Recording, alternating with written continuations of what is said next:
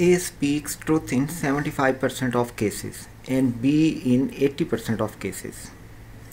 In what percentage of cases are they likely to contradict each other?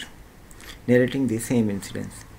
A 75% cases में सच बोलता है और B 80% केसेस में और हमने बताना है कि परसेंटेज ऑफ़ केसेस जब वो एक दूसरे से कंट्राडिक्ट करें यानी कि एक सच बोल रहा और एक झूठ बोल रहा हो। अब हम सपोज़ करते हैं कि A event that A speak truth A जो है वो ए रिप्रेजेंट करता है जब ए सच बोलता है और बी रिप्रेजेंट करता है जब बी सच बोलता है।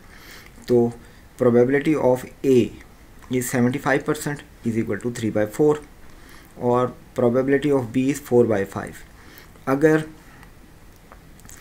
ए थ्री बाई फोर सच बोलता है तो one minus three by four यानी कि वन बाई फोर टाइम्स वो झूठ बोलता है। क्योंकि सेवेंटी फाइव परसेंट केसेज में अगर वो सच बोलता है तो ट्वेंटी फाइव परसेंट केसेज में वो झूठ बोल रहा होता है। तो इसलिए हमने इसे वन में से माइनस किया इसकी प्रोबेबिलिटी को तो अपोजिट साइड आ गई। ये इसकी ट्रुथ की साइड है ट्रू की साइड में, और ये फॉल्स यानी कि झूठ के केस में। यानी कि probability of A lie is equal to one minus three by four is equal to one by four इसी तरीके से बी जब लाई करता है तो वो आएगा one minus four by five क्योंकि अगर वो फोर बाय फाइव टाइम सच बोलता है तो one minus four by time यानी कि वन बाय फाइव टाइम वो झूठ बोलता है। अब कंट्राडिक्ट करने का क्या मतलब है? ए ट्रू हो और बी लाइज हो, या फिर बी ट्रू हो और ए लाई हो। तो इसकी हम प्रोबेबिलिटीज़ देखते हैं।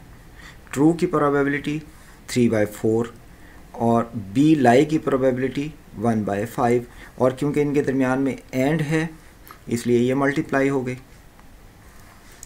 और फिर और है तो ये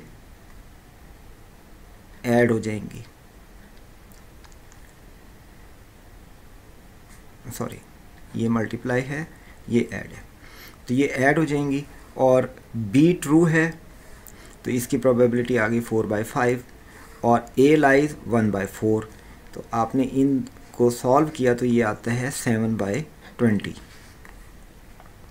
इसको परसेंटेज में कन्वर्ट करने के लिए हंड्रेड से मल्टीप्लाई किया तो ये हो गया थर्टी फाइव परसेंट जो कि ऑप्शन बी में दिया गया है। इसलिए इस क्वेश्चन का आंसर है ऑप्शन बी